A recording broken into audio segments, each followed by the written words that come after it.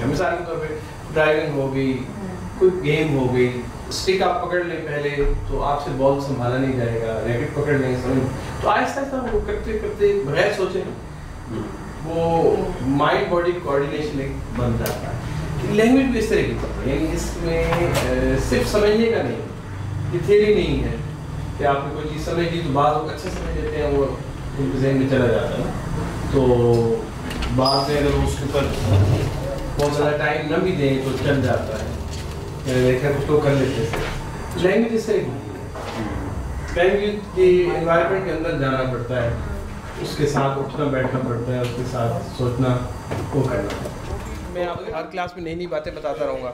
तो यूँ क्या होगा कि थोड़ी देर के बाद, कुछ क्लासेस के बाद आप कहेंगे कि मैं तो बहुत पीछे रह गया। मतलब आप कहेंगे कि रह नहीं दो यार, ये तो। ऐसा ऐसा ना आदमी इंटरेस्ट लूज़ कर जाता है। साथ साथ चलते रहेंगे, कुछ क्वेश्चन आते रहेंगे, कुछ चीज़ें बढ़ती रहेंगी, वो ठीक है। करें ज़रूर, ना होना एक अलग बात है। अगर नहीं होता तो वो परेशानी वाली बात नहीं है, लेकिन करें ज़रूर। लेकिन आप करें ही नहीं तो थोड़े अर्से बाद फिर आप देखेंगे कि वो काफ़ी फ़र्क आ जाएगा गैप आ जाएगा।